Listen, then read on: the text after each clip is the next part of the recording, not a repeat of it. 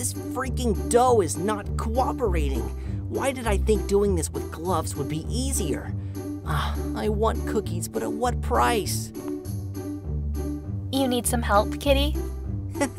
Uh, well, I'm kinda in the middle of a sticky situation. Ow, why the aggression? You know what you did.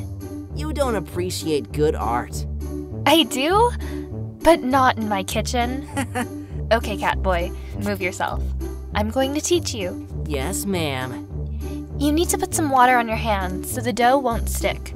The kneading is constant, not so quickly and not too slow either. I know about kneading. I'm a cat. You want me to explain, or. Okay, okay. Don't be rough with the dough. We don't want to form bubbles, like this. And then. Uh, and then? Princess, what is it? Did I do something wrong? Um.